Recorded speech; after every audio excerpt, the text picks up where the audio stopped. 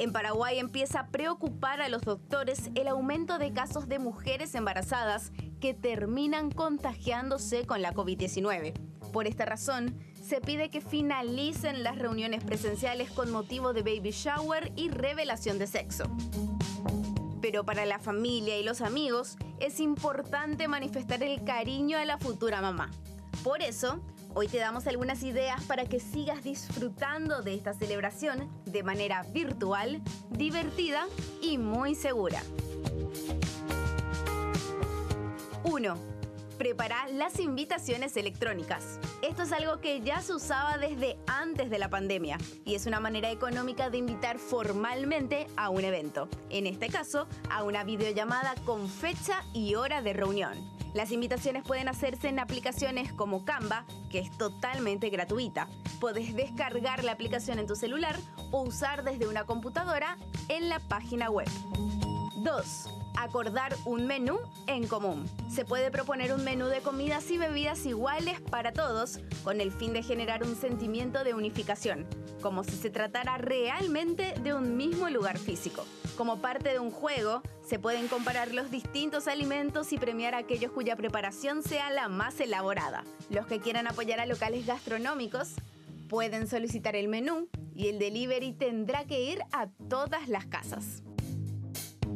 3. Proponer una temática divertida. Dependiendo del sexo del bebé, podemos tener en cuenta preparar en casa un color en particular para decorar el espacio físico. Servilletas individuales, alguna velita, etc. 4. Música de fondo. Una de las participantes se tiene que encargar de musicalizar la ocasión. 5. Enviar los regalos con anticipación. Los organizadores del evento tendrán la misión de solicitar a los invitados que envíen sus regalos anticipadamente para que al momento de la celebración la futura mami ya los tenga y los pueda abrir durante la videollamada. Para hacerlo más entretenido, se puede proponer que los regalos se envíen sin remitente, de modo que la mamá tenga que adivinar quién hizo cada regalo. 6. Hacer juegos virtuales. Se puede adivinar el diámetro de la panza. Los asistentes pueden enviar fotos de cuando eran bebés para que el resto adivine de quién se trata.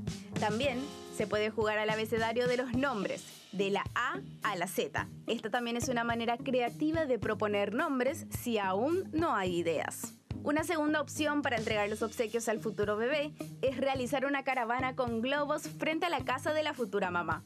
Cada amigo o familiar debe bajar y dejar su regalo en la puerta de la casa. Para la revelación de sexo, 1. Pincha un globo durante la reunión virtual.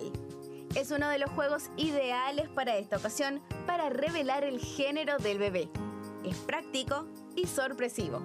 Usa papel picado, rosa o celeste, con figuras dentro del globo para un resultado espectacular. 2. Crea un video collage.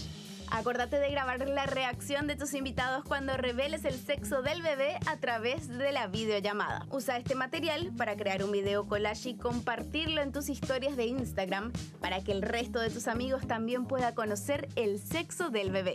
Por último, recordá que en las invitaciones debe ir incluida la aplicación o la plataforma que se utilizará para la reunión. Zoom, FaceTime o WhatsApp.